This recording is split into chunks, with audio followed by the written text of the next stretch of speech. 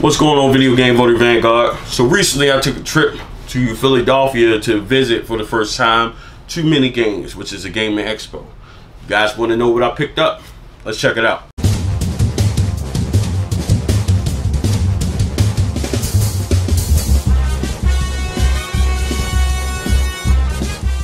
This is a pickups video for Too Many Games. Uh, Too Many Games is a convention slash expo that's held in Philadelphia once a year. Um, it's two hours away, so I took the ride up. I took my two older sons, my little cousin, took the ride up. Um, so we arrived there, I think like maybe around 12, 1 o'clock, something like that. And first things first, I picked up this awesome shirt. I love the design. It has design and the theme of Super Mario Odyssey, so I definitely had to grab that. Um, um, let's get to the games that I picked up. I stumbled over my words. Now, this is right after my West Coast trip, so I definitely came back with some money, but not as much as you guys seen in the pickup video. I I picked up quite a lot. So let's get to them. Uh, Virtua Cop 2 for the Sega Saturn. I had to grab that.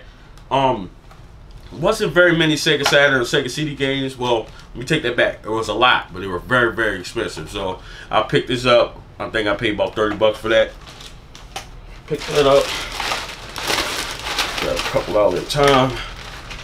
Crash Nitro Kart for the Xbox. I picked this up, especially being with uh, Crash Team Racing Nitro Fuel just released. I seen that and I picked that up.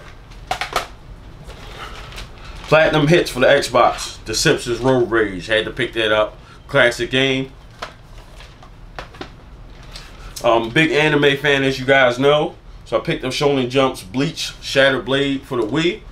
Uh, I believe this is one of the gems that's on the Wii. The Wii has plenty of gems, so I grabbed that as well. Had to get this.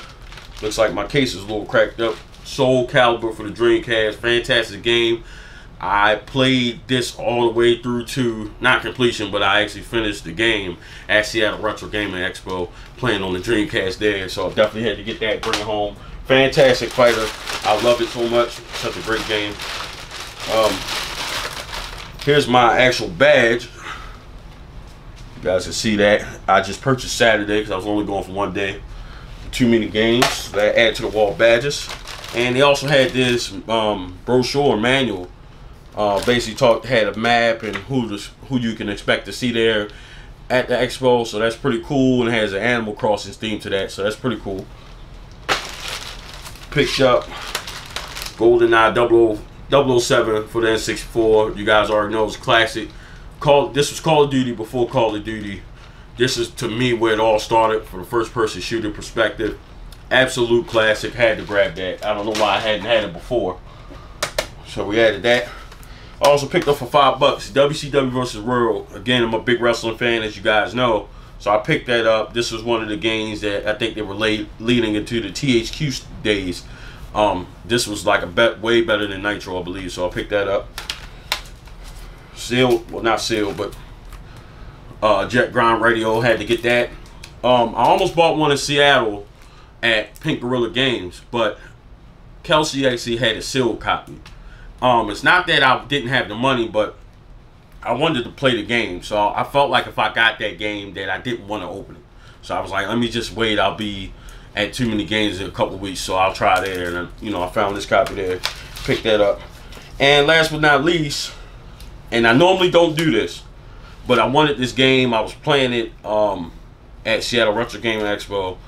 And like I said, I normally don't do it. I normally buy games with the cases at least because I like to display my games on my collection.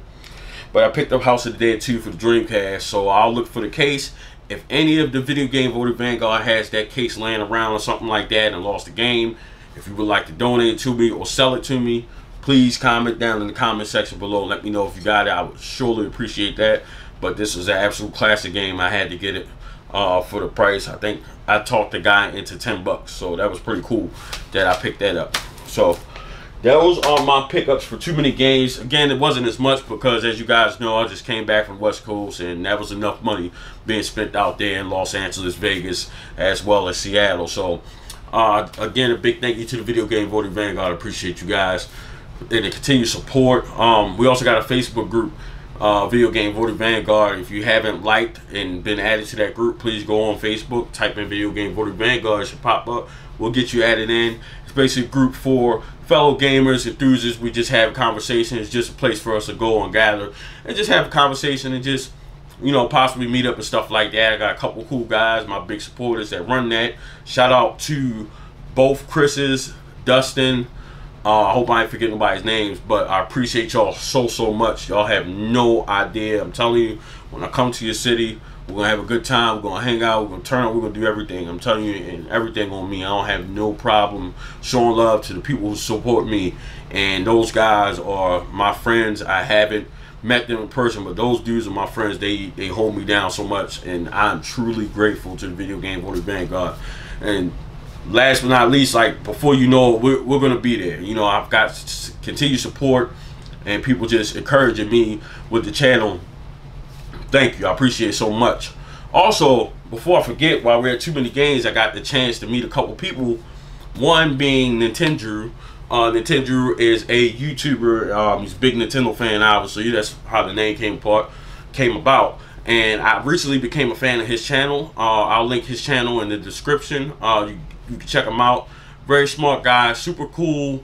Um, I actually sent him a tweet because I seen on John Riggs' page that he was actually there. Sent him a tweet, say, "Hey, are you still at Too Many Games?" I was actually leaving, and he tweeted me back. He's like, "Yeah, if you hang around." you know, in this area, we can meet up. And he definitely did. He held up his word, and we got a picture, and you guys will see that. So shout out to the Nintendrew. Thank you. Appreciate you. Uh, also, I got to finally meet John Riggs. John Riggs is super cool, big YouTuber, a frequent guest on Metal Jesus Rocks YouTube channel. We had been uh, having a conversation for a few months. He recognized me before I walked up. It was super awesome. It felt good. I gave him my shirt. Um, he's a super cool dude. He also had my shirt in his pickups video. So I'll also link his video below. Uh, thank you, John Riggs, for the continued support. That dude is super awesome. Thank you so much. I appreciate it. And again, thank you to the Video Game Votary Vanguard. So we're going to end the episode on that note. This has been the Too Many Games Pickup. It's your boy, the Video Game Votary. We out.